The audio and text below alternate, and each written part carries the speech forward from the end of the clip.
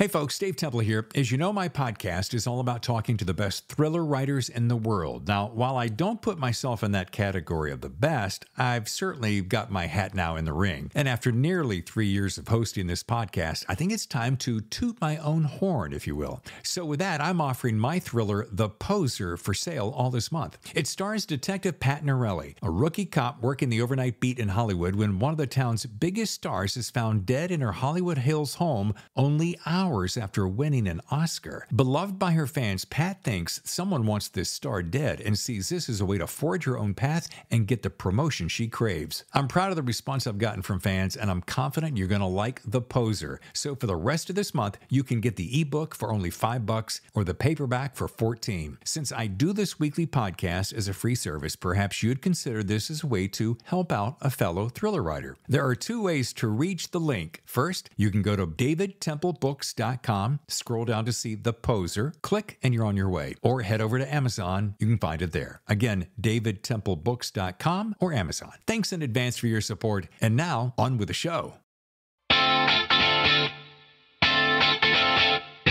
Hello and welcome to the 161st episode of The Thriller Zone. Today marks the next to the last time an author will appear on this podcast in 2023. I'm your host, David Temple, and our guest is a member of our Rising Star Month. Steve Stratton is an author I've followed for nearly two years, and today I'm excited to present his new thriller, Shadow Sanction, the latest in the Lance Bear Wolf series. Today, Steve talks to me about his illustrious career in the military and the Secret Service, and shares several of his experiences as a thriller writer. Perhaps best of all, for foodies like me and Steve, we get to discuss a passion other than writing, that of good food. Hey, there's a lot of ground to cover in this slightly elongated face to face conversation with a man I'm honored to call friend. Please welcome Steve Stratton. Is everything comfortable, Mr. Stratton? I feel lovely and almost sedated. Folks, you wouldn't believe what it took to get here, but uh, Mr. Stratton, Steve Stratton, as you may call him, has written a book called Shadow Sanction. We're going to be talking about this very shortly, but we have so much to catch up on. Thank you for flying in for this interview. Thanks. It uh, it's a lot of fun so far. I love coming to San Diego, Del Mar area, La Jolla. Beautiful. Yeah. beautiful. Folks, uh, Steve is a hardcore uh, foodie and you know what a foodie is. They love food. Mm-hmm. And I think I, where did I first learn this about you? Thriller Fest 2019. We'd go out to a restaurant. It wouldn't just be, oh, let's go so and so. Steve would go, no, if we go here, it's a Michelin two star rating and the wine selection is superb. And, and it was just, and I'm like, that's cool. I mean, you really, have you always been a foodie? Um, I've always liked good food and, and was lucky enough in my career to be many interesting places in the world to experience it. But when I married Ellie, who teaches cooking and is uh, the foodie of the family, it took off. And I follow in her footsteps to all the great restaurants in the world. Oh, I didn't know it started there because that, that's one thing that's always I was curious about, and I never asked you is have you always been a foodie? And I just assumed that because the way you talked about it and the way you appreciated it. We went to the sushi restaurant in Midtown and you were rattling off things and I'm a, I'm a pretty good sushi connoisseur, but I'm like, oh man, he knows, he knows his stuff. so she would live, she would look like uh, living here because of that Wolf Kitchen down the corridor. And, uh, how does she teach like in a school and an adjunct? Does, does she teach? no, right neighbors? in right in our community. Okay. We're in a retirement community, and it's uh, amazing how many people and I'll admit it, I'm a boomer. So yeah. uh, there's a, a lot of folks that don't know how to cook real good. And so she shows them not only how to cook, but gives them ideas, insights that other teachers haven't in the past. And so they, uh, they all love her and they're savages. Uh, I never get any leftovers. they, they, the plates are clean when they come back. Yeah. But, uh, so she's able to teach at our clubhouse and have a, have a fun time doing that class once a month kind of idea. Now I'm going to jump all over the place. You know that about me. Um, uh, it's just part of my thing, but I noticed, uh, Lance Bear Wolf he may not be what you'd call a classic foodie, but there's a lot of references to food and good coffee and good beverages.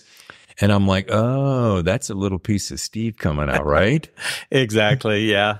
To be honest, it, uh, like I say, I always appreciated food and that idea of walking into a restaurant and it's the, I experience it, a restaurant when I open the door, right? Cause I'm taking a deep breath. What's going on? What am I smelling? And, and, uh, yeah, that's, I like that kind of experience. It's not just, the fine dining, the white napkins, that kind of thing. It's really about the culinary experience. Do you think uh, this is just a random question? Do you think that's that? Um, here's I'm going to ask a question. Do you think it can be taught, or do you think it's just you're kind of born with it? Because I remember from a young age, um, I always liked really good food, and we grew up, you know, middle America, mm, low to medium uh, medium income and and Tammy and I were just talking about this last night when we were doing this curry dish, and she doesn't really like peas, but she likes peas and curry. And then we started this whole conversation about peas and carrots and how we grew up eating all of our vegetables out of cans. And so I thought, but later in life, I would hunt out the best restaurants ever. And my, my family would look at me like, why do you spend all that money on food? I'm like, it's the experience. 100%. I grew up in a very similar way. Uh, I recently just bought a can of sweet peas. Just, just, my wife's like, get that out of my office. Yeah. but, uh, that's how I grew up. Um, beans were in a can, sometimes fresh. Yeah. Um, there were other fresh vegetables and fruit, especially being in Northern California, right? Yeah. Apples, berries, those kind of things. Sure. But yeah, when I, when I, uh, when I got to the White House and started traveling around, the world and experiencing these other cuisines, then it just opened me up. I mean, I'd not had like asparagus or, or, uh, Brussels sprouts or these kind of things, right? Right. And, and so, I mean, I remember coming back to San Francisco with President Ford and going to Alioto's yeah. back in the day. And there's these vegetables and I'm like, sure, I'll try those, you know, and it's like, I've never had this is amazing. This tastes different than in a can. Yeah. well, it's so funny that you should mention that because, uh, again, we were talking last night. We are just having this conversation about the way we grew up canned. And I'm like, yeah, my mom, when she wanted to throw, put on the Ritz, she would, she would, uh, fry pork chops in the iron skillet. Uh, come on now. And then she'd break out a can of asparagus and then to be fancy, she'd put a dollop of mayonnaise on it, like a hollandaise. And I remember I was telling Tammy this last night as a kid. I'm eating that like, Ma, what do you think? And this is horrible, floppy, soggy. All right. For my listeners who are not interested in our culinary uh, escapades, I do want to listen. Why don't we just go ahead and start into the shadow sanction? But because you made a comment about you started in the army with the White House. So let's just start there. How old were you? How did you land that gig? And what was your job there? Because that, that was really kind of the start, right? Yeah. I um, joined the Army late in 73 with the idea of just going up the coast to Fort Lewis, Washington State. Yeah. Lots of relatives, Oregon, Washington, stay in the Pacific Northwest, go hunting when I'm not playing Army. Right. Kind of idea.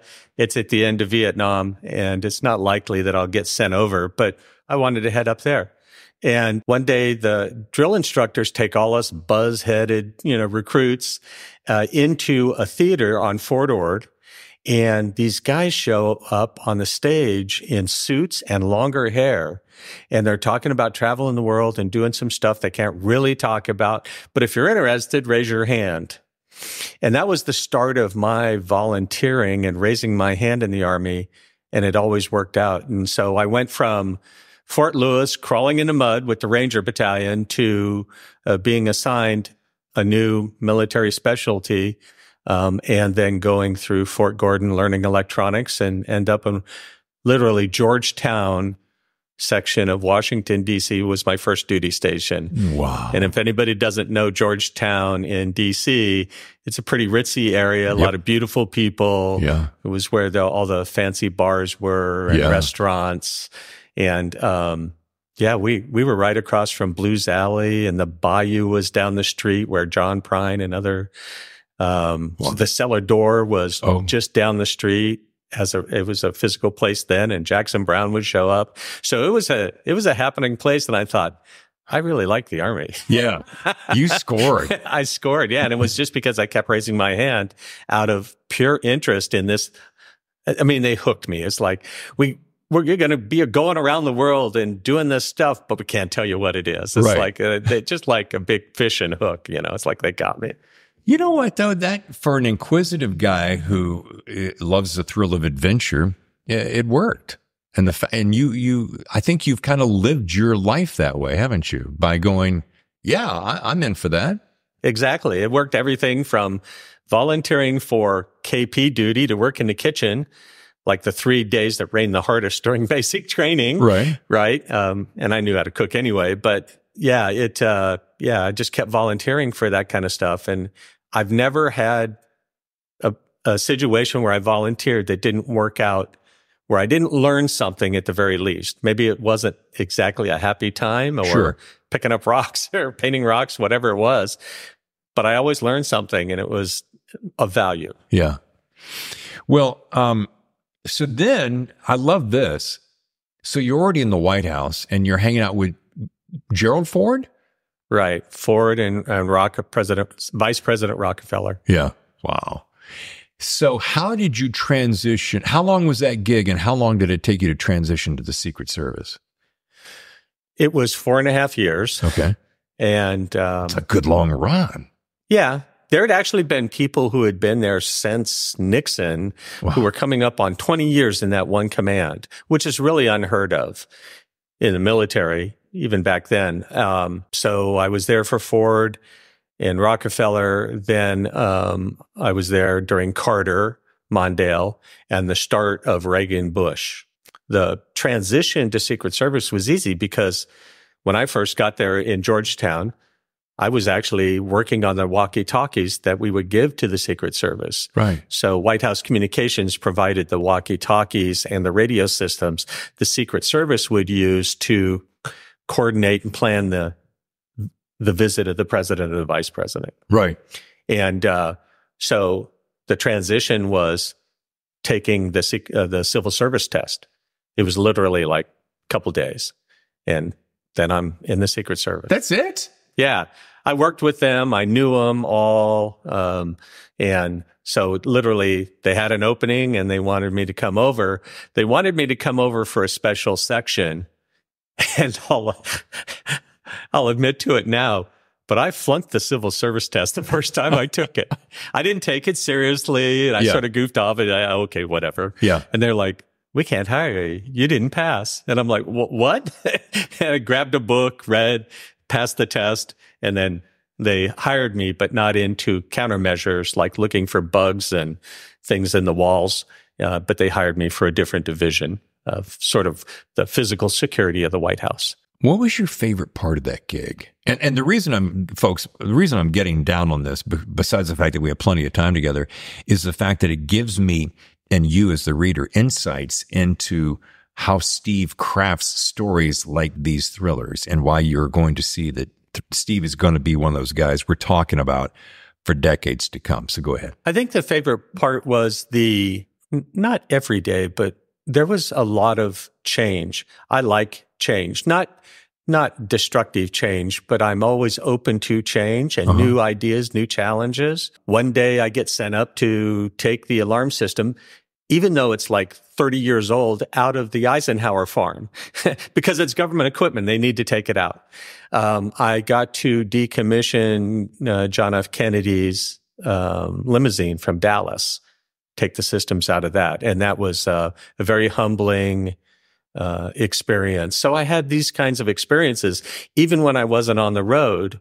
Um, you know, we're doing things in and around DC, right? And up at, up on the hill, stuff sure. like that. And so I'm meeting people like, um, the sergeant of the arms of the Congress and, and his name was Fishbait Miller. And he, there were stories and books about him. So I, I just came across all these people. It's not like they were deep friends, but I was able to meet them and, and engage with them. And it was always interesting being in the seat of power in the United States and possibly a lot of the world there and seeing these glimpses of being in uh, uh, Brzezinski's office. He was the national security advisor for Carter, right? Things like that. And they oftentimes wouldn't stop conversations. I'd walk in, have to do something, and they'd keep talking. And I'm like, I hope I'm cleared for this. Yeah.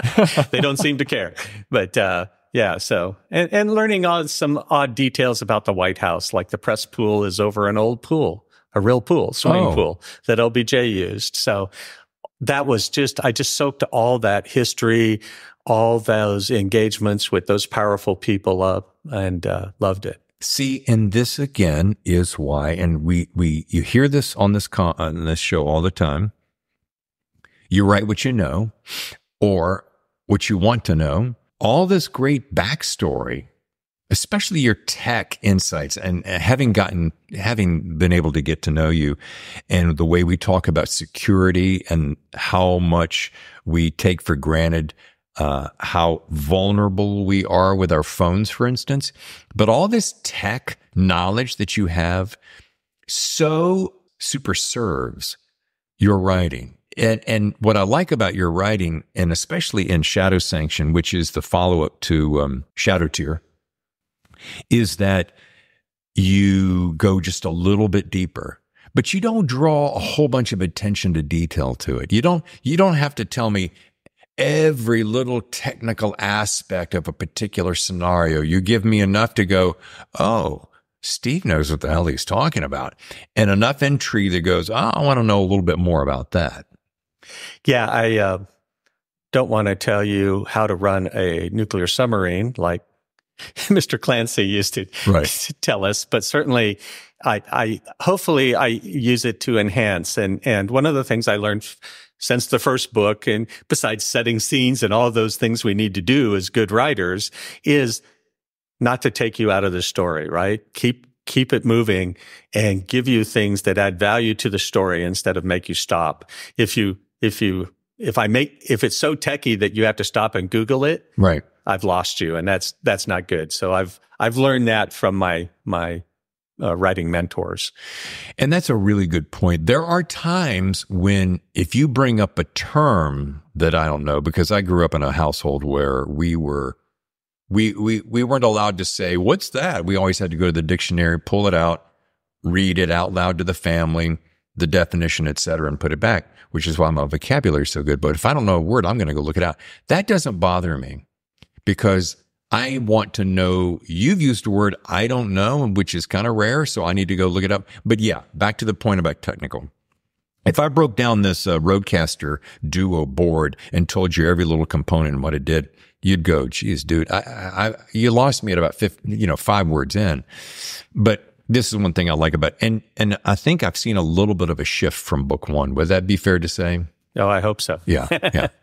And and I mean from the aspect of well, your your writing has already matured in just one book, uh, and I think when you get access to some more people like our circle of friends that encourage you to you don't really need that. Accentuate that. How about bringing that in? You're just going to get better and better. And that's again, going back to our community. That's what makes us also. Oh, absolutely. I'm a, I'm part of a, uh, a ITW critique group. In that group is Tracy Abrahamson, Jack Stewart. Oh, wow. Is part of my group. I just uh, was, I'm working on a Lance Bear Wolf novella and Jack just gave me some great feedback. Oh. And uh, so, yeah, I learn all the time. I'm a lifelong learner. And these people, others, Millie Hast, other people really helped me as, as growing as, as a writer too.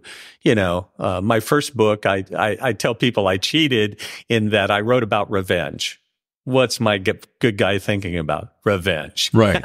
and now I need to bring the characters forward. I need to bring like Ellie Parker forward and have an arc for her in the book and even, even my bad guys. So I'm learning, i I've learned a lot and, and since I started writing and continue to apply it, uh, because I love I love writing. I yeah. love telling stories and finding odd things to talk about that that uh, you know could be could be interesting to people. So, um, I find it interesting that Jack's. It's co- completely coincidental that you and Jack Stewart both ended up on our Rising Stars month in one sense, in that I've just been following you guys and the timing was right and so forth. But sitting down with you guys and hearing your stories and reading your books has reignited to a ridiculous level my passion for writing. And I'm like, I have got to take some time off or do fewer shows if I'm going to be able to do what I love, which is also storytelling and talk to the storytellers. So I'm working on that balance. Tammy's like, Are you? Are you working on that balance? Because I don't really see it. so, anyway, um, all right. So we got Army, uh, uh, White House, special uh, Secret Service. Then you joined the National Guard's 20th Special Forces Group. Now, what was the difference for guys like me who don't know the difference between Secret Service and that special group, Special Forces Group? Right. So um, I left the Secret Service after the 1980 campaign when Reagan and Bush won. Right. Won. Bush number one. one. Right. one, and, one. Uh, one, one. And uh, uh, I went down to Florida, take a break, um, go skydiving. At that time, I was doing a lot of skydiving and um, preparing for a national championship. And then uh, got back to work and ended up working as a defense contractor. And so, since I was no longer in the Secret Service, um, there are certain government agencies where you're not really allowed to be. You could maybe be a reservist, but not a you know once a month or certainly National Guard person because you might be investigating them. Certain law enforcement agencies like the FBI don't like you to be in the National Guard because you could be part of investigating something that goes on there. Um, but I joined uh, because of the challenge. It, once again, it was another challenge. I wanted to challenge myself and if I was going to go back into the guard or the reserve to continue to serve my country, I wanted to do something more interesting than um, maybe repair radios or set up satellite communications, you know, once a month. Take what we call a communication shot, you know, prove that it worked and tear it down. So let's go for special forces because yeah. uh, I remember even when I was looking at the recruiters back in 1973, there was this thing called Spartan training, special forces Spartan training, and and it, it was very interesting back then, and that's sort of what had propelled me to look at the Ranger Regiment up in Fort Lewis, and. Uh, I didn't know at the time that there were National Guard special forces units. And uh, so I signed up and uh, went to went through jump school like with other active duty people, then uh, assessment, and then into special forces training, and right right alongside the active duty guys. And so uh, it was not only interesting but a challenge. And I when it when those come together, you know, I, I love it, and I'm all in. And uh, uh, it uh, made for uh, some interesting personal growth and also uh, more experiences, right? For like back down in Colombia and other places in the world. So, which to circle back to a point we made about your experiences, I mean, think about this. You have only scratched the surface of your historical data that you have, your experiences. And you're only two you're working on your third book now or mm-hmm. yeah third book. And i'm thinking to myself knowing you and all your life experience and only two books in you've only gotten started.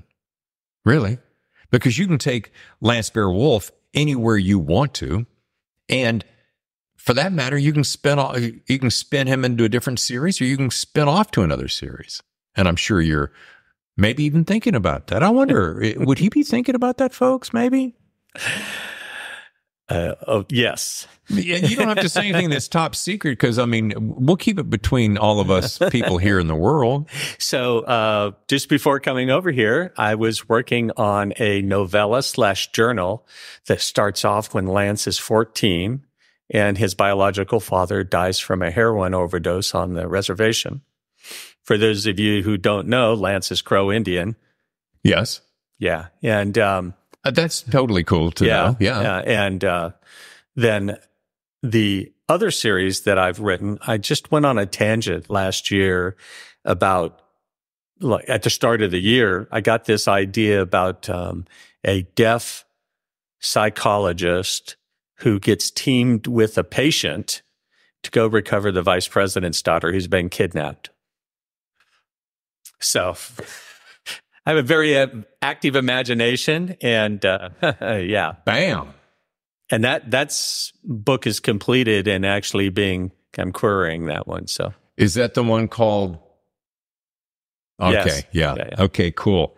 Yeah, I have uh, I have not read it yet, folks, but I have been promised that I get to read some of the first pages, and I think I'm going to really like it. I mean, the premise alone while we're on Lance Bear, let's talk about where this dude came from. Now, this is not, you know, where you get your ideas. This is where did this guy, where did this guy come from? Why uh, Native American? And why uh, putting him in the situation that he is? We'll just start with number one.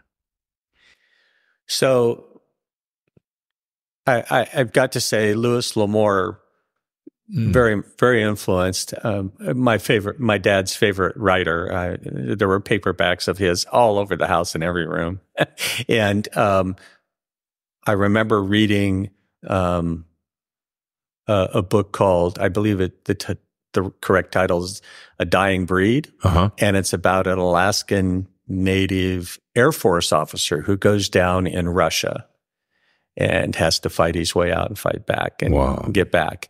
And uh, sort of reminds you of a Jack Carr novel yeah, a bit. Exactly. Um, so I was influenced by that and looking around when you look at, you know, Vince Flynn and, and, yeah. and, you know, what Jack does and, and Mitch Rapp and, and, you know, uh, Harvath, right? Right. And, and Thor, all these great writers. And of course, of course, um, Clancy and and Jack Ryan and and all those folks. I was like, how do I differentiate myself? And that's really where it came from. And I thought, not only is will this be more interesting character, but I can I can portray a different view of the world through his eyes um, that um, you wouldn't see through uh, ostensibly another white Anglo, right? You know, tough guy. So I love that. Yeah, and and uh, that was that was a conscious decision to um, find a protagonist that would um, give me a way to differentiate and and and view the world differently. Let's take a 30 seconds on Jack Carr. Uh, I uh, got to hang out with him at BoucherCon. Of course, I met him back in 2019.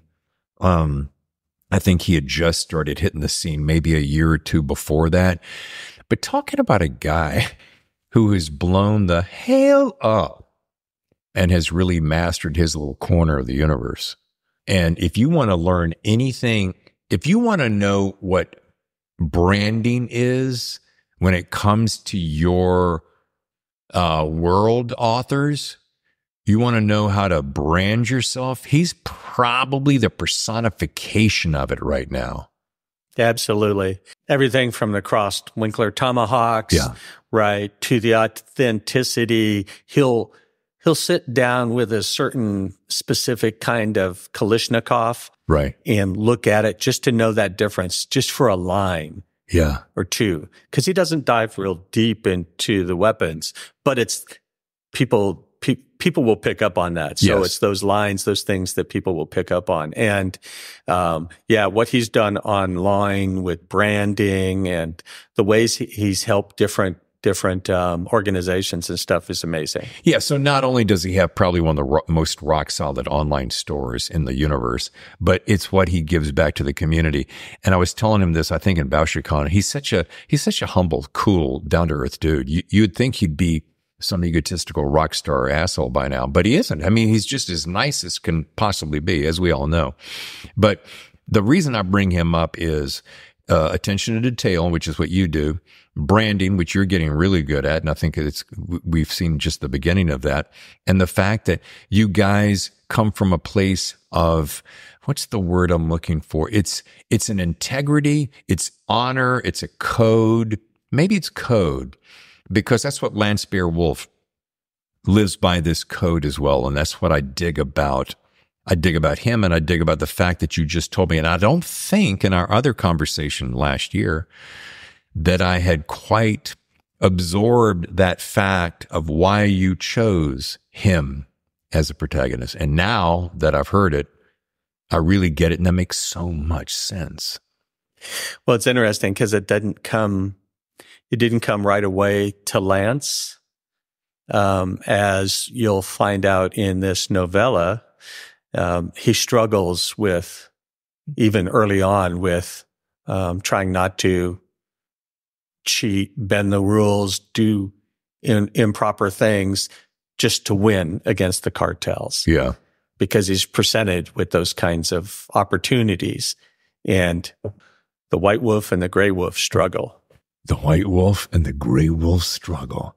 When we talk about the cartel and uh, we could sit here and rattle off about five or 10 authors who have really spent some time in that world. Don Winslow's probably number one, uh, easily, far and away. Yeah. You want, there's a part of you that wants to say, oh, geez, I've heard enough about that. The thing is, though, they're not going away in any way, shape, or form ever. No. Uh, we continue to fight without getting too deep into this, but we continue to fight the supply side of the equation versus the demand. Right. And the money, the profit margin in the drugs allows them to, yeah, be a little irritated that the Coast Guard got another one of their narco subs, you know, with millions of dollars on it. But okay, we've got nine of them in the water. Right you know the, the profit margin is just so high it's it's ridiculous there's there's even profit to still grow marijuana in uh, in in states like California and other places, you know, or places where it's legal because black market marijuana can be cheaper than than store bought controlled marijuana, things like that. And so yeah, it's the margins and it's never going away, is it?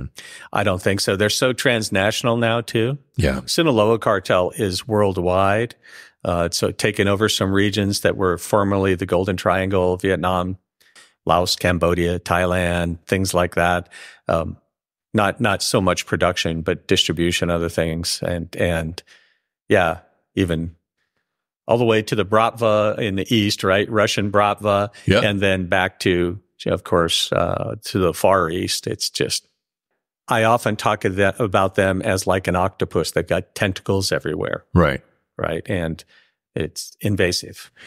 And uh, I don't want to go down the word, uh, uh go down the road on uh, animals, but if you cut off an octopus's arm, doesn't it grow back?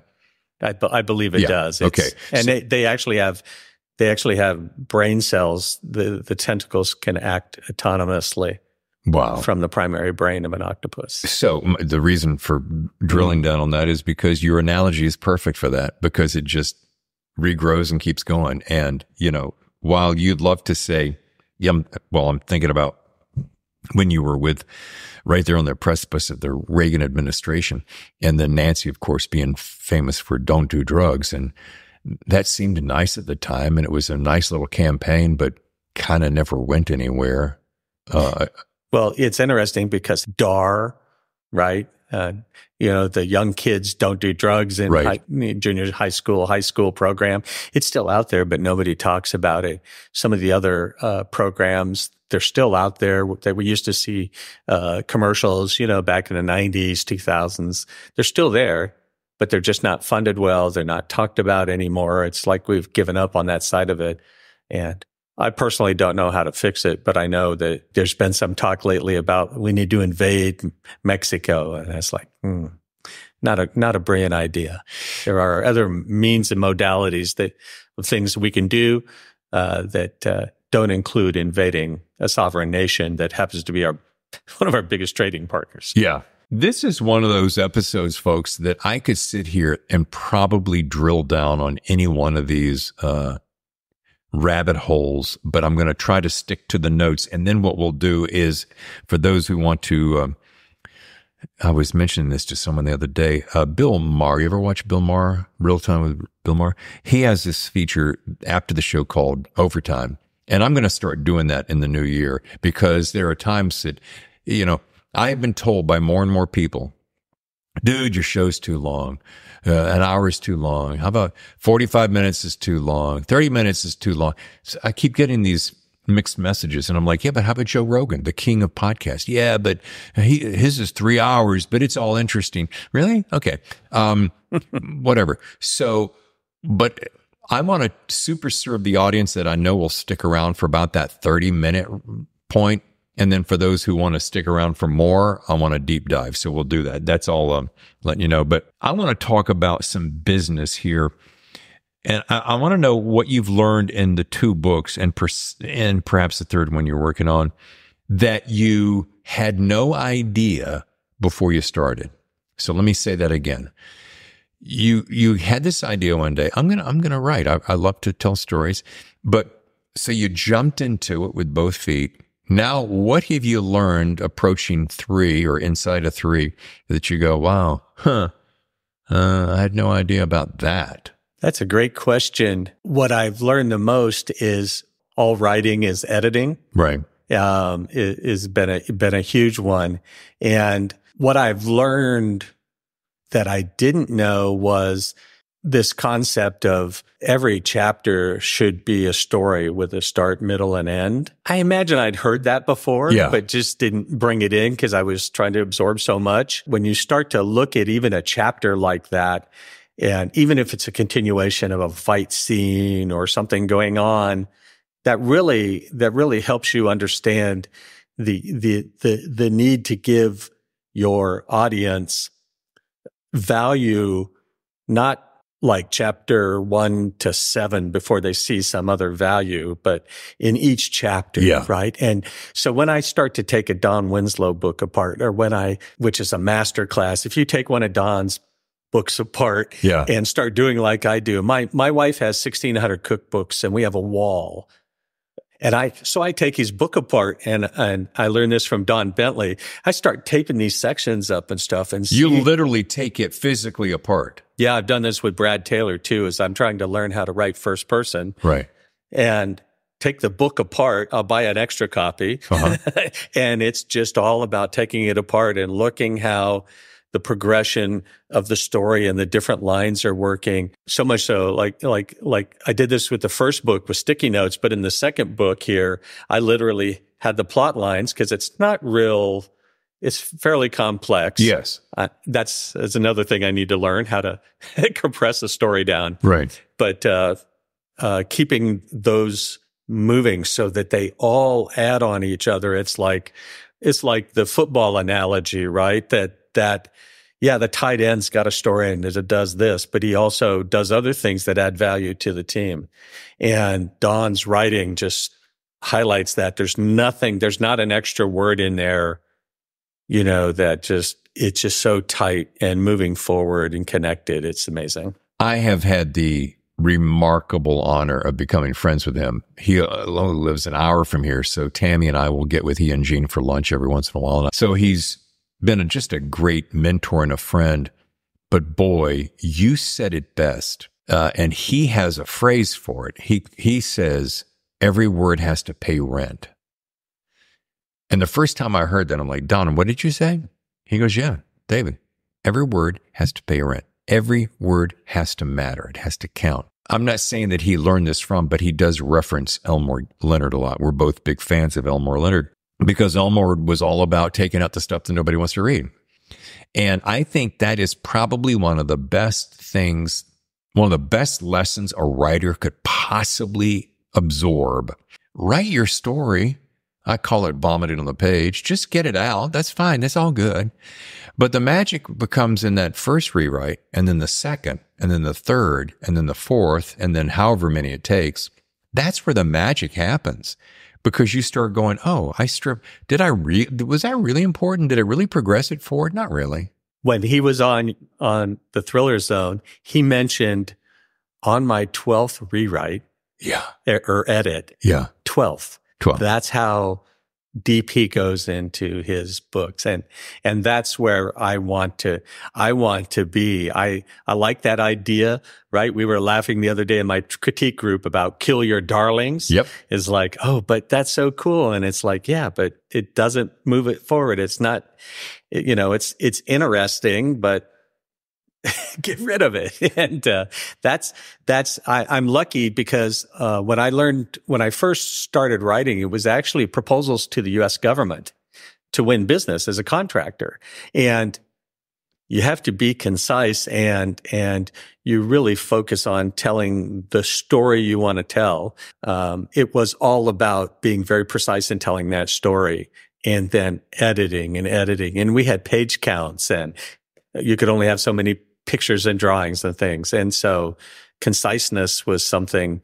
that uh, I had to learn, and I'm trying to be that way now. Like in the third book, uh, my wife Tammy has a unique ability, and she's not a writer, and she doesn't read nearly the volume that I read, but she's got an intuition, and uh, she has always been my first reader, and she has become a master at this uh, honey, and she'll circle it and go off on the side almost every time.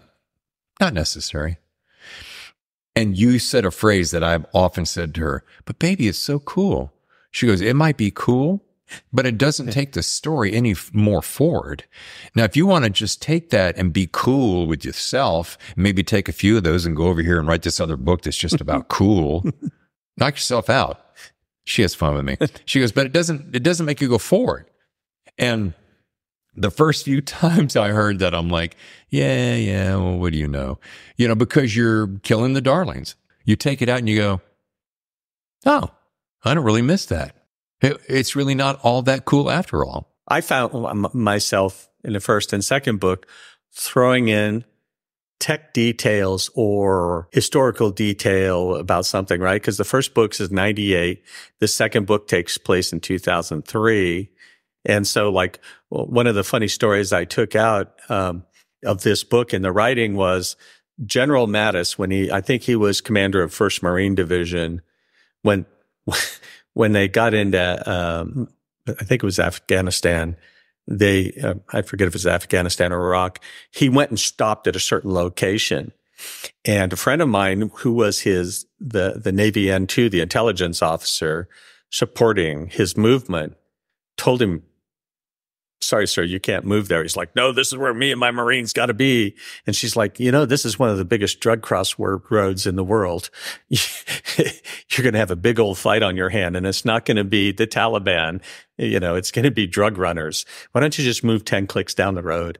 And so I had written that in in sort of a funny way that it made Lance and the team move, you know, move and things like that. And I thought, who cares? It's it's something I find funny because it's something that happens in in war. It's like, nah, don't stop here. You know, just move down the road a bit. But yeah, take it out. Cut. That's uh, that's a writer's maturity, though, to be able to get to that point where you go, yeah, cool factor is a little bit lower than it really needs to be. Now, I asked you about you know uh, what what you didn't know earlier about um, the process, but I want to know what you've learned about the publishing side of the business. and I know that I'm asking a really big question. And if you want to plead the fifth, you can. If you want to dance around it, you can. I don't want to offend particular people, but I do want to make people aware of things that they could learn that would catapult them into better success sooner. Is that a fair? Did I do that? Is about as vanilla plain safe as I possibly could? Yes. And and let me back up a little bit because right. when I first started writing, I forget how I got connected, but somebody, I think somebody just said, you know, if you're a veteran writer, there's a lot of us out here. We're happy to help you. Reach out. Right. So I reached out to Jeff Wilson of Wilson and Andrews. Yes. Great guys. And talking with Jeff and, and I had this offer. By the way, it's Andrews Wilson. Andrews is going to want to have top oh, billing on so, that. Yeah. Sorry, Brian. Sorry. Submariners. Yeah. Uh, anyway, I was talking to him and said, Hey, I've got this potential offer here uh, for publication, and uh, but it's it's a very small press, and um, you know I'm still trying to query and things sure. like that. And he mentioned that they were looking at the time to be in large, small, hybrid, self-publishing. The more their their goal was, the more they could get their name out, the more they would eventually sell through all these different channels. Makes sense. And they're, and they're great writers, right? They're selling, I mean, of course, Sons they're, of Valor and. Yeah, they're doing they're okay. yeah. not bad, not yeah, bad. Yeah. Um, I hope, I hope Hollywood lets him come back and write a book here shortly. Yeah. Another book. But, um, and so I'm like, okay, it's a conscious decision. I'll take it. So my, these first two books traditionally published, right? But I know it's a, it's a, it's a small, two, three person shop kind of idea. Right. I get an advance. I'm a happy camper and I just go off and I write. And I've been told you got to start doing some of your own marketing, things like that. And so that, that gap there, the, what, what I wasn't paying attention to, um, probably because of excitement around getting, getting a, a tiny little advance check was sure. the idea that, okay, I know I've got to do marketing, but it's, it, having somebody that can help you with distribution is yes. huge, right? Yeah. Huge. And that is the thing that, um, because my publisher, who, who I appreciate very much, uh, what they've done. Um, by the way, they're, they're going out of business at the end of the year. Yeah. You know, and I'm going to get the rights back to the book. So they're being very gracious. And I really appreciate Dan and everything he's done for me. That, that lack of distribution, right? Amazon, Amazon and, and uh, Ingram Spark gives you that print on demand capability, but it's not the, not the same as, as people who can get you into military, uh, post exchanges yeah. or, you know, actually on the shelf at Barnes and Noble and those kind of things. And so there's a, there's a, a real close, not, not much of a delta between, between Dan and then self publishing. And, yeah. and so, and the self publishing thing has become much easier. Right. There's a lot of aggregators that will help you now, things like that. And don't you think it really could be broken down into three levels? You have classic traditional publishing. You have small press publishers, which can also be hybrid, more more likely to be hybrid than the traditional, and then self. Now, I've done all my stuff self, which uh, you know, my family and all my friends have really loved it. But yeah, to your point of distribution. However, I think the distribution opportunities are opening more. I think as the top tier, they used to be called the top 10, then it was the big or big 10, big five. Now it's big four. It's on its way to big three. I don't know. I'm just going to say it this way. Things are changing. So I think, uh, and I'm seeing a lot of, I'm seeing a lot of big time authors. I'm thinking of, uh, well, the very first person that popped in my head was Bob Dugoni. Mm-hmm. So he was traditional. Amazon came to him, said, let's do an Amazon exclusive, which he's been doing. And he's skyrocketed. He was already skyrocketing in his own arena, but he has his own growth factor there. So whether it's Amazon self publishing or Amazon through one of their subsidiaries, Thomas Mercer, uh, all those different little branches. Uh, I think the opportunities are getting wider and easier. I'd agree. I yeah. mean, look at how how wonderful Simon Gervais has done. Yes. With now, this makes me makes it the light bulb come on. One thing that I didn't know is that that that that different, there's a huge difference between um, just writing in traditional way and you get a check and once a year you put out a book and then pushing your way into the business, right? Because maybe you're not a, a bestseller from the start, but pushing your way into the business and then coordinating and doing all that cover design, you know, uh, interior formatting for the different formats, signing somebody up like yourself to, to do an audio book, um, all those kind of things. There are days I'm almost every day I'm doing something about writing. Some days I'm just filling mailers and sending, taking stuff to the post office. Sure. I don't get to write, you know, they say write every day. To be honest, I don't get to write every day, but I'm doing something about writing. Right. It's marketing. It's looking at a cover design now for the third book because I will, the third book I'll self publish.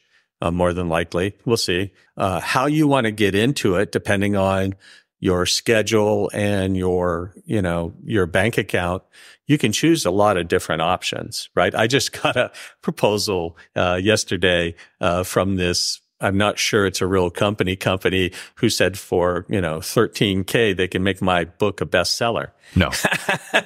no. And it's not something, not something I'm going to do when I can, when I can do all the rest under 5K, right? Myself. So. I was going to say, A, those are a dime a dozen. I have drilled down on those monkeys way too many times and it's it's bullshit. That's all it is. Yeah. I've had friends who paid that token, then came to me and said, "Why didn't you talk me out of it?" And I said, "I tried to because it's bullshit."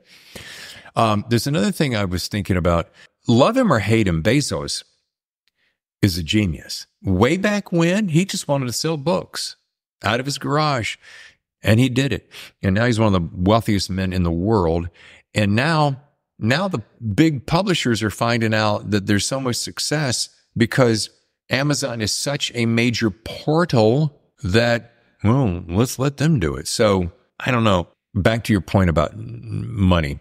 If you have the acumen, the wherewithal, mm-hmm. the financial wherewithal, the mental acumen, the circle of friends who are willing to help you, be it pals or otherwise, and you have the tenacity, you should consider self publishing because watch this. How many people, and I'm not going to rattle them off, but do we know that went the self publishing route, got so successful then, then the traditional publishers said, Hey, we'll represent you. Well, sure you will, because I've done all the hard work. A, B, your way I'm going to use numbers that don't mean anything. You take 80% and I get 20%, whereas this way I get 80% and they get 20%. I know those numbers are not completely true, but my point being, in the traditional, they got all the money. Self publishing, you get all the money.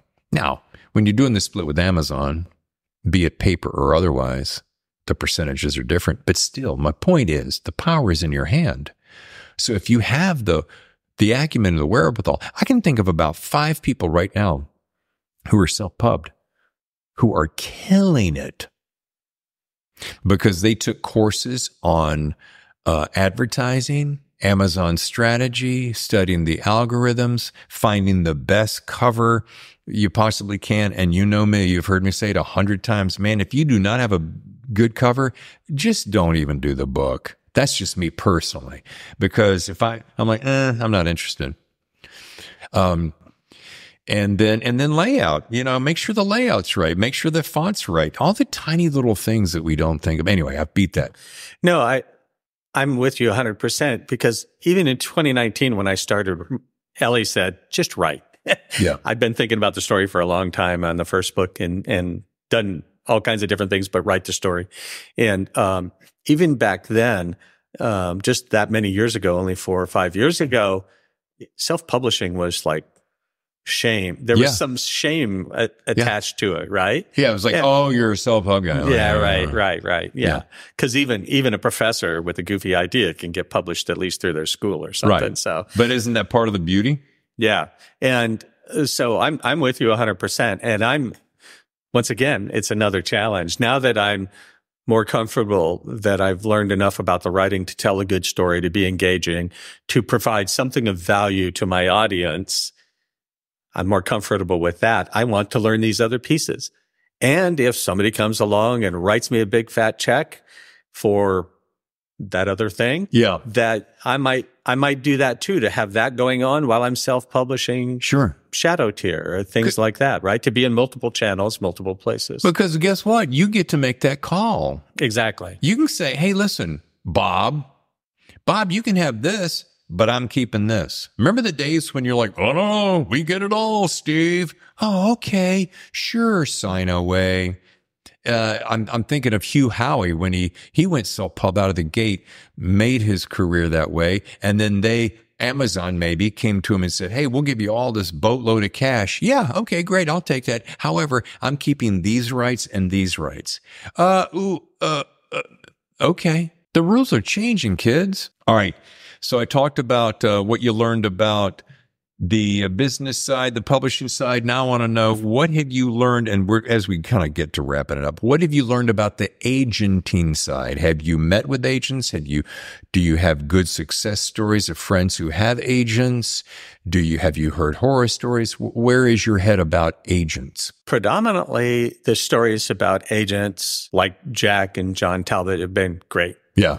And there is one other story where a friend wrote a book that was accepted by an agent, but he's not been able to sell it um, after having a lot of interest and thinking it was worth bringing that person on to their agency. Uh, yeah. And so we don't want to mention names here. No, yeah. but it's often likely, I believe, that they're gonna, they're going to do some work. Sure. Right. Because that's how they're going to get paid. They're, yeah. They're, they're not getting a salary from me or you. Right. So, no. Yeah. So personally, I know, and I, I've done a lot of, I was never a contracting agent, but I've done a lot of government contracts and other types of contracts. So I can read a contract and understand other than potentially having somebody on my side who, who is connected into the business, the old school traditional publishing business. I don't need an agent some publisher wanted to come and talk to me, I don't need an agent to be in the middle and give up another 15, 10%. Right. I, uh, last year at, uh, Thriller Fest during the thriller pitch. Yep. I pitched that idea six times, got to six people.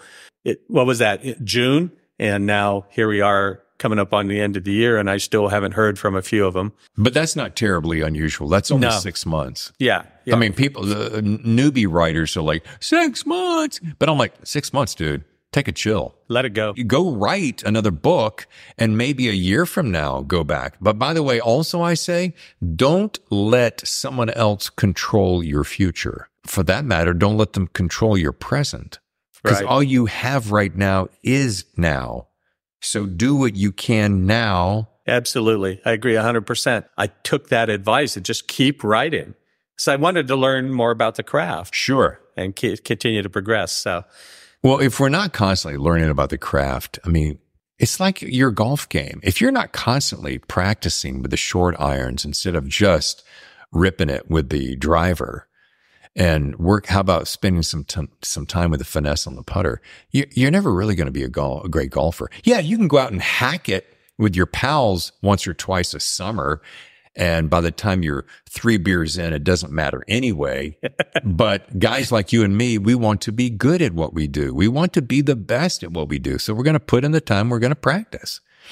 And, you know, I can never overemphasize the importance of things like conferences. Now, I'm not saying you got to go to every conference because I'm not a fan of that.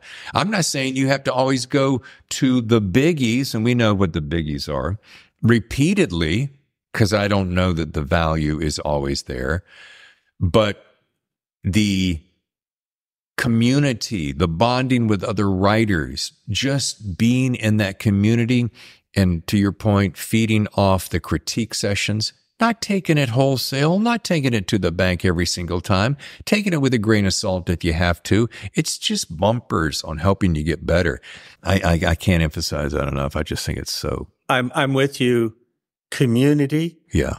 So I had never met General Tata until a couple years ago at Thriller Fest. We got to talking and, oh, you know, John and blah, blah, blah really, you know, John, and and you know, oh yeah, you know, went to war with him, et cetera, et cetera. Next thing you know, he's given me a blurb on my book. Another thing you you might not realize as a up and coming author is like you really do need to be on social media. It probably won't sell you any books. I can't I can't tie Twitter, Instagram to no. selling books, but being in that community, supporting other authors, supporting uh, uh, General Tata when his new book comes out he supports mine. Yeah. I support other people, whether it's Jack Carr, Mark Greaney, Brad Taylor, and maybe they don't give me a blurb, but they, they repost my post, um, because I'm supporting them. And that adds value because if they repost, that goes to their 10,000 followers versus my 2,000, things sure. like that. I got to take this chance uh, while I'm at it because you just mentioned it. Brigadier General U.S. Army retired Anthony J. Tata, best-selling author of Total Empire. And is it Tata or Tata? Am I going to F that up? Yeah. Shadow Sanction is a blockbuster that hits hard on the first page and never lets up. Lance Bear Wolf is a powerhouse series lead. Crisp writing, authentic action, superb tension, and deep characters keep the pages turning. And he finishes it with, I can't wait to read the next in the Shadow Tier series. Uh, mic drop. That was special. I, I, I got lucky. Actually, uh, another uh, a close friend of mine from Special Forces days, Brigadier General Tolley. It's funny they're both T's. Yeah, but uh, he also blurbed a book and talked about fifth generation warfare. He's he's a PhD, so he gets a little deep on it. But it was an honor to have those people, you know, read my book and and, and give it a thumbs up. Yeah. I want to do this because since we've been able to become friends here over the last year, uh, I know that I can have fun with you on this, the rapid fire questions. Yep. And you'll play with me. Now, my notes are over here, so I'm going to read them, but I'm still giving you my attention. We'll start off easy, a couple of layups. And, and these are the most I've done for anyone because for reasons you'll figure out in a second. Paper or screen when writing? Screen. Coffee or tea at the start of the day? Coffee all day long. Okay. Well, I was going to say beer, wine, or cocktail at the end of the day. Oh, Basil Hayden. you like the Basil Hayden, don't you? Cook at home or go out to eat? Caveat being, of course, in a town with good choices. Go out to eat. Yeah. Even with the master chef by your side. Fishing or dirt biking? Dirt biking. Really? Um, yeah, mainly because I'm uh, going to get back into uh, racing this year. So I'll be doing vintage motocross uh, here in 2024, running for a championship at a national level. Holy shit balls. Didn't you just tell last time we talked? Didn't you have an accident and do something to your ankle or your foot? Uh, yep. I broke it into, I don't know how many. Yeah. 15 pieces. Jeez. My first, my first break of anything in 65 years and came off the motorcycle, but the motorcycle was still between my legs when we all landed. Ooh. That how is it, by the way? 80% okay motion, maybe 85. So yeah, getting hurt doesn't stop me. Good for you. Good for you. Okay. Rock on. Hunting, rifle or bow? bow. I, I love shooting long distance with a rifle, things like that. Sure. I've got plenty of rifles, but it's the intensity of being close enough to smell the animal. Yeah. It, of course, potentially smell you. Yeah. In Cal- Northern California, here in California, we don't stand in a tree right. waiting for something to walk by to ambush it. So, yeah. like on the East Coast, East Coasters. Yeah. Uh, but stalking is a big thing. Yeah. I will get my ass handed to me for this because I grew up in the South and the East, but I always thought the guys who got up in uh, tree stands, that's, that's shooting fish in a barrel, man. I mean, how hard is that? I, and I'm going to get all kinds of shit for that. I understand that, but I'm with you. Make it, make, make the hunt fair. Yeah, it's called, it's called out in the West, we call it like if you get a guide, it's always like fair chase. We're not taking you to a park where we grow them and, yeah, you know, leading one out on a leash for you to shoot kind yeah. of idea. So fair chase, right? I, if I, if I'm not good enough one, some, one day or many days in a row, then there's things I need to learn, right? Yeah. It, the animal gets a choice in it too. So, uh, call me old school, but I think that's good. Number seven. and and this has these, these next two have great because you're a foodie. On the grill, trout or salmon? Oh, that's not nice. oh, salmon. I, yeah, man, I, I, I, grew up in the Northwest where, you know, king salmon. Yeah. Oh, yeah. I, I just have to give it to salmon. Trout, trout are beautiful, but they're, they're not big, big and juicy enough. yeah, no, no, no. I'll tell you what, man. There's nothing like I. I have. I. I don't want to brag, but I have perfected grilling salmon. Golly, I am hungry. I got just perfect place for lunch too. Um. All right, in the smoker, ribs or burgers? Oh, ribs. Okay. Yeah. And European travel, plane, train, or auto? Train. Did oh so with you on that. Oh yeah. Oh my God. I'm I am begging. Tammy and I are gonna finally get away and take a European vacation next year. We're gonna do a lot of it by train. Isn't it the best ever? It is so simple, uh, and there's a rich history of of trains and train barons, right? And, yeah. You know, in this country and things like that. But as we started to grow up and the automobile took over, we pushed the trains to the outside. Yeah. Except for some of the Amtrak's, like on the East Coast, I could I could go jump on the train and end up in New York City, right? Sure. And and that kind of easiness and and a Euro pass, so just get you everywhere for a Yeah. month, right? Yeah. Number 10. When either road tripping or hanging out around the campsite, what's on your music player, whatever that music player is? It can be a genre, a band, or an artist. It, it- could be you could be hanging in a hammock on the beach. The point is, what Yeah, do you yeah. listen to? Well, personally, I listen to 70s to 90s kind of music, Yeah. even a little bit of the 60s music. People like Santana, The Doors. Oh, Like, This is how I grew up, right? Sure. Santana, The Doors, the Starship, and Sure. and things like that. Okay. And lastly, you get to sit down to dinner, one of our favorite Mm-hmm. things, at the finest restaurant of your choosing. It's a two part question. You get to choose the restaurant, so you get to tell me what it is. Now, I'm going to tell you, you're going to have two of your favorite people with you, me and Tammy. So it's you, me, Tammy, you, Ellie, and two more people, living or past. Who is it and why? It's the French Laundry. Thank Where? you, Mr. Keller, up there in uh, in the Napa area. We're on the wait list, by the way, Mr. Keller. How long is that wait list, by the way? Uh, forever. Yeah. Yeah, yeah. Okay, so we're at the French Laundry. Okay. One of the top restaurants in the world. Yeah. I've got Henry Kissinger with us because of what's going on right now. Golda Meir. Did you see the movie Golda Meir? I just watched that. Fascinating, wasn't it? She, She was magnificent. she, she's an amazing actress, isn't she? Unbelievable. yeah, yeah. But let's stop and second it. So why why Henry and Golda? for that perspective. So, and, and this is one of the things that tied it back into my military and, and Secret Service time and, and traveling around the world is I grew up fascinated with National Geographic. And so that was my door to the world. I've always had that more wanting to understand the rest of the world. I know American history real well.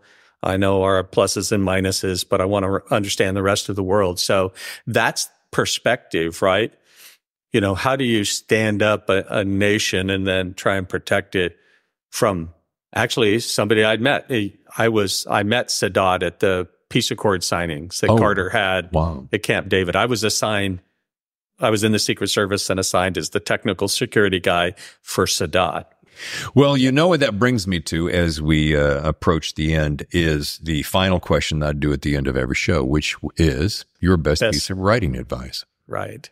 And you have given us a huge amount of insights today, Steve, and I'm grateful for that. You've given us insights from a guy who's just starting out, a rising star, two books in, working on three, fourth in the wings. So, what what do you suppose that little juicy morsel is? It, it's interesting because I really like what Jack said when he was on with you, right? Put in the reps, Yeah. right?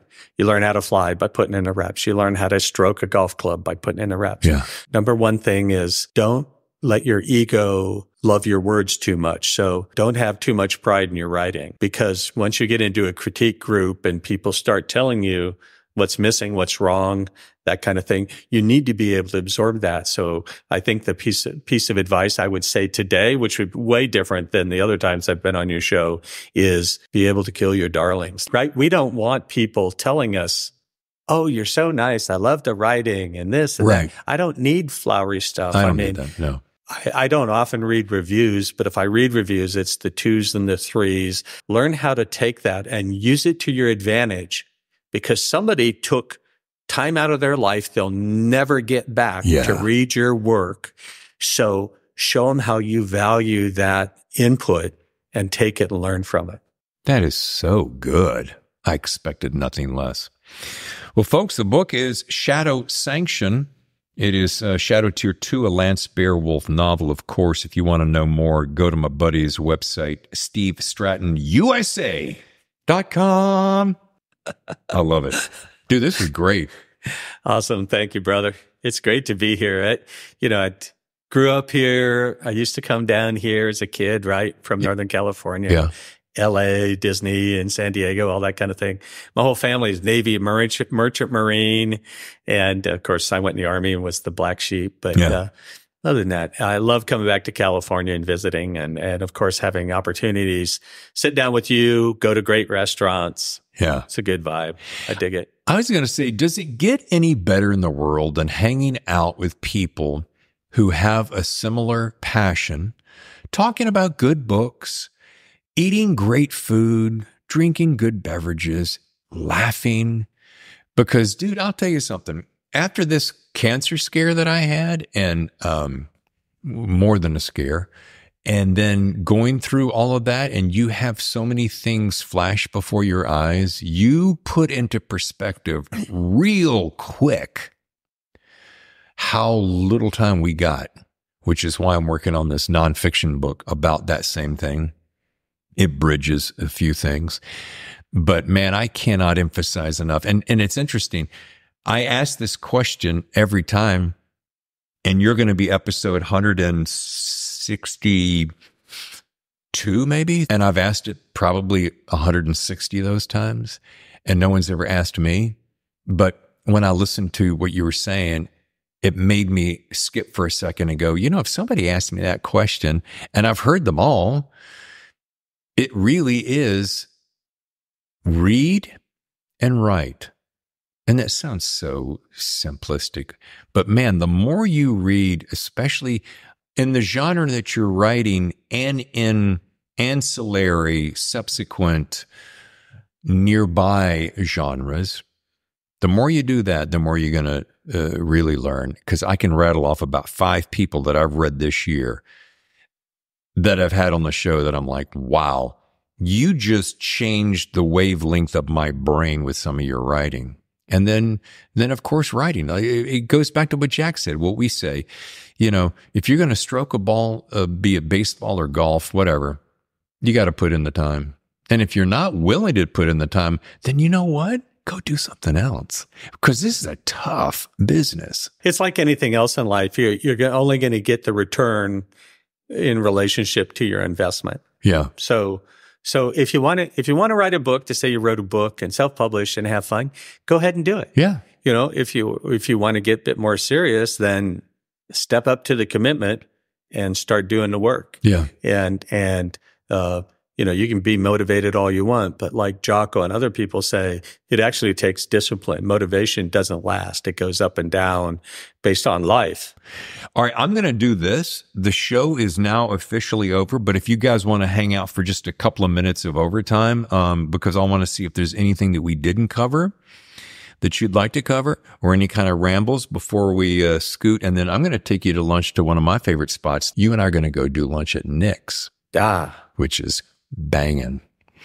Um, anything we didn't cover that you um, that that popped up in your head and you're like, oh, oh, I'd like to bring that up. Or I'm learning what Don Winslow had, had taught me without me thinking about it is like it is it's right these books are really what people want to read about is great characters characters interesting characters yeah there's some yeah they love some tech or you know there's there's military thriller genre guys that you know, write about different war scenarios and weapon systems and all kinds of things. And they make a great living, but it's really about people and how they interact and things like that. I would always much more prefer learning about people. And yeah, do I like sprinkled tech? Sure.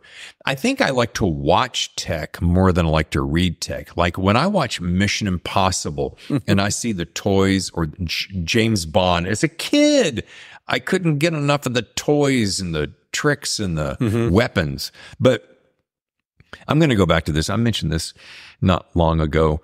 Tess Gerritsen has a book called The Spy Coast, and there is a masterclass on character development and just falling in love with the characters. Falling in love, I don't mean in a romantic way. I mean going really getting into their brains. And I know you that you were so I don't know if you were so impressed or that you were so taken that you ended up getting it, right?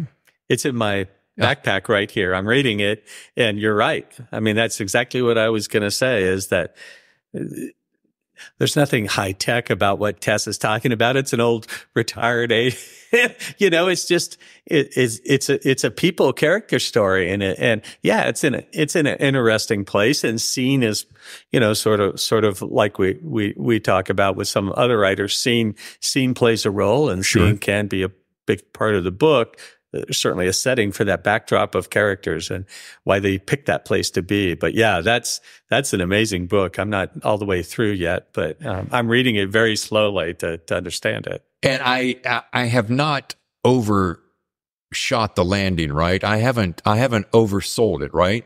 No, absolutely. Okay, good. Because there are reasons she's she's a best selling author. okay, because sometimes I, you know, I get really passionate about books that I like, and sometimes I go on. Maybe I go on a little bit too much, but it's generally with books that have either uh, affected me at the heart level because I'm a heart guy, or tickled my brain because I'm I like to think I'm somewhat intellectual. So it's caused me to think outside my standard world or I'm just completely absorbed with the construction and better yet, the craftsmanship that it took to craft something. And she is a craftsman, craftswoman, craftsperson. Yeah. she has the ability to pull you in and the way that she would hop back and forth with dual timelines never bothered me. Sometimes that shit bothers me. That didn't bother me. I was with her and it really helped build the story and ramp up. And it's so funny. I love spy novels. Sure. Who doesn't? But it's, there's very little spying, spy stuff, cool spy shit happening because all you're, all, all you're doing is you're absorbed by those characters. Right. Right. You're not having let's break out to the car chase, break out to yeah. to where's Q Q in the latest latest gadget, you know, that kind of thing like right. that. So yeah. Which I totally dig, but um I don't know, maybe my tastes are changing. I'm trying to think of other books that have come along. Um like all right, Jack Stewart, because he was just on, and we yeah. both know Jack, and he's in your writing group and so forth. Now, there's a guy uh, I was just, somebody said to me, they heard my podcast. They said, Why do you like Jack's book so much? I said, Here's why. He lived it. And, and I, I've never, now have I been in a, a, a cockpit of uh, some of the, of, of, planes? Sure. Have I been in a F 18? no. But I'd love to. But he, he puts me there. And he doesn't put me there with too much, but I'm there. Um, now, Don Winslow, the reason I have always loved him is that I, his characters are so completely and fully fleshed out to a level that you can't possibly even imagine that you can't help but love those books. Now, his cartel series, now that's a very specific world. But you get into some of his The Broken, the short stories, or you get into The Force with the dirty cop. Those characters are so big and bold and multicolored. That's where the arc of my learning is going. And not to belittle anybody else's writing, but I'm yeah. starting to think of the other things like that as props a bit when I really need to be. And, and this is the great thing about this novella with Lance is I really get to explain Lance and show you how Lance sees the world through his eyes. going in deep into Lance actually is going deep into me, right? Because nice. I've got to bring bring what I know, what I understand, and the way I want Lance to envision this world. I've not struggled once during this writing at all. That's when you know. I don't know if you ever read this book, but you should. It's called um, it's called Flow. It's by written by a guy named Mikhail Csikszentmihalyi. I'm going to say Russian. And it the whole purpose, the whole theory behind flow is that you're doing something and you're so lost in the moment that you have lost sense of time and place and it becomes effortless. And the minute that you stop and you go, oh shit, I, I forgot to take out the dog. Oh, I got to go do pay the bill. Oh, then you're out of the flow. And the whole premise of the book is how to create that state, how to attain that and stay there. It's a great book. You should read it. It's it's pretty chewy. I love being in that state. Yeah, it is pure magic. I want to. Yeah. I'm going to jump back to something while we're still here in overtime. Um, uh, because he's going to be on the show next week. Your show drops here on Monday, the 18th. He's showing up on Tuesday, the 26th. I didn't want to drop him on Christmas Day. Nobody would listen. Hmm. Tod Goldberg has written a book called Gangsters Don't Die. You want to read a book that is its own little character study. Talking about characters, and it's got just enough real, if you like gangster books, which I always have, mobsters, You'd love it. It is such a, it is such a great description of a journey of a one man's journey through depravity to deity. I mean, he's a, a mobster hitman who goes undercover as a rabbi. Now that in and of itself, you, you, you got me there. That's a great premise, but it's so well done. It's that kind of book that when you're done, those characters live with you. And the the the opening prologue, and I say this on the show, is worth the price of admission. It's about 10 pages opening prologue. That's worth the price of admission. But by the time you take the journey and get to that epilogue, holy bananas, it is just it's stunning. And and he takes some liberties with it that you wouldn't quite uh, assume. NPS, it's coming to the medium screen. Going to go into a series, I think. Nice. All right. Um, I don't know about you, but my stomach is a growling, and uh, I'd love to go get something to eat. And we have other stuff to talk about that, uh, unfortunately, our friends will not be able to hear. Hmm. But man, isn't the face to face? Isn't this so much better than over the Zoom call bullshit kind of thing? Right? Absolutely. I'm, I guess I'm, call me old school, but I like being with people face to face. Yeah. Like, I will say that, and this will be part of our conversation over lunch. I really want more than anything to do this more often. Matter of fact, I'm almost to the point. Don't hold me to this if you're still listening. This is how adamant I am about it. I don't want to do Zooms anymore this is my theory, and this is the first time I'm talking about this. But I want you to sit down with me. If it's important enough, for, if you look, you've spent a year or more on your book. This is important to you. It's a child you birthed. And you're going to put a lot of heat into your social media and advertising. And I think it's worth the time to sit down and really, because you're going to breathe in the same air, staring into each other's eyes completely different experience. And what I have in mind for the next year takes all of this even one step bigger. And if I can do what I want to do to get me to that point, wink, wink, nudge, nudge. Yeah. I think I'm really going to be onto something. That's very cool. I might have watched every episode of Charlie Rose right Loved across the table. Yep. And he'd ask some questions and you could see them squirm and thinking and looking left while they're trying to make stuff up or looking right while they're trying to access, you know, memories and just watch the body language and all that. And, and, uh, yeah. My, one of my favorite shows of all time, Charlie Rose. What he and how his career ended, you know, whatever. I don't care. But boy, he was a master at that. I, I tried to never miss an episode. And that's really, hear it now. I'm knocking on 65 as we launch the new year. And yeah, I only got so many summers left. So I'm going to do it my way, or I don't want to do it. I don't really have to. So I don't know. I'm, I feel like I'm doing a little therapy with you. Nice. Should we cue the song? Go and do it your way. Uh, yeah, you don't want to hear me sing right now. Oh boy. All right. Um, Steve, once again, thank you so much. Thank you for having me. This has been awesome. I mean, and, and I know that's an overused word and I'm like, it's like cool, man, California dude stuff, yeah. you know, but really, I really appreciate this and, and enjoy this more than, more than anything. Being a techie, I know all the tech. I use the tech, but face to face people, it's what it's about. Yeah.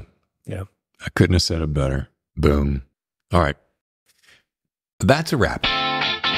Don't forget to mark your calendars for when Tod Goldberg joins us next Tuesday, the day after Christmas, to discuss his latest mobster hit, Gangsters Don't Die. And trust me, folks, you're going to enjoy more than a few laughs. Then that Friday, the 29th, we bid the year goodbye as my wife Tammy and I host our year end extravaganza a yearly tradition right here on the TZ. Until then, I'm your host, David Temple, and I'll see you next time on The Thriller Zone.